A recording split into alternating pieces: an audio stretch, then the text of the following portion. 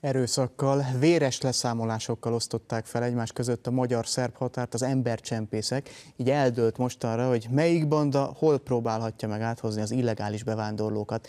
Erről beszélt a Nemzeti Nyomozóiroda egyik ezredese a magyar nemzetnek. Szírek, irakiak, afgánok és marokkóiak irányítják a bűnbandákat Szerbiában.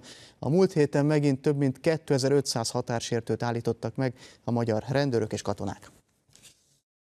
Igazából a magyar mintát veszik át. Magyar mintára épül a lengyel határvédelem. Varsó szöges drótkerítést húzott és katonákat vezényelt a fehér orosz határhoz. Erről beszélt a Nézőpont Intézet elemzője az M1-en. Georg Spötle azt mondta, Fehér Oroszország turista vízumot ad az illegális migránsoknak, akik így tömegével érkeznek a lengyel határhoz. A nyomás miatt Lengyelország nemrég úgy döntött, 5 méter magas vasbetonfalat épít, mint egy 400 kilométer hosszan végig a határ mentén. De nem csak a lengyel-fehér orosz határon romlik a helyzet. Egyfajta dominó effektusként ugyanis már a lengyel-német határszakaszon is nő a nyomás. Éveleje óta 6000-nél is több bevándorló lépett át engedély nélkül. Németország ezért most úgy döntött, megerősíti a Lengyelországgal közös határ ellenőrzését. Ezt a német belügyminiszter jelentette be, azzal együtt, hogy a német-osztrák határon pedig ismét meghosszabbítják az átkelők ellenőrzését. Úgy fogalmazott, meg kell őrizni a belső határok szabad átjárhatóságát, de ez csak akkor lehetséges, ha működik a külső határ védelme. Brüsszel azonban ehhez nem ad pénzt. Ezt az Európai Bizottság elnöke közölte pénteken a kétnapos uniós csúcs találkozó után.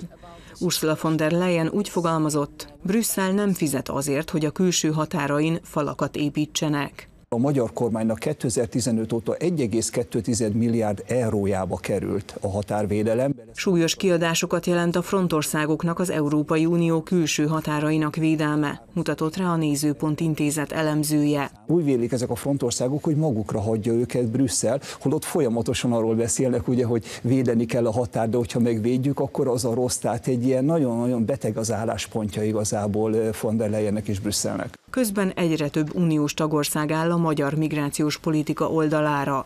Jelentős közép-európai győzelem született pénteken az Európai Tanács ülésén. Erről a miniszterelnökség államtitkára írt közösségi oldalán.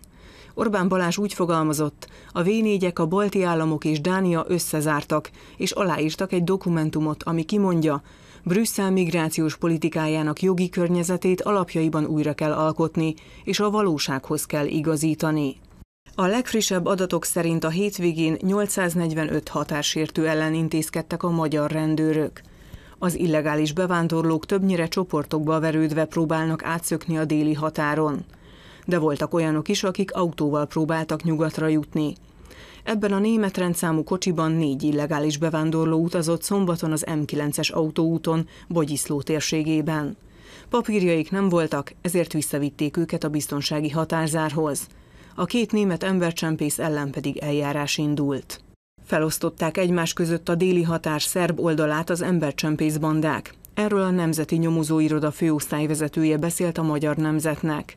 Boros Zoltán ezredes azt mondta, a bandák vezetői irakiak, szírek, afgánok és marokkóiak, akik véres leszámolásokat rendeztek egymás között, hogy megszerezzenek egy-egy határszakaszt. Ott ugyanis kizárólag ők csempészhetik át az illegális bevándorlókat. Aki ezt nem tartja tiszteletben, azt megölik. Az ezredes azt hangsúlyozta, a szervezettség egyértelmű, a bevétel pedig óriási.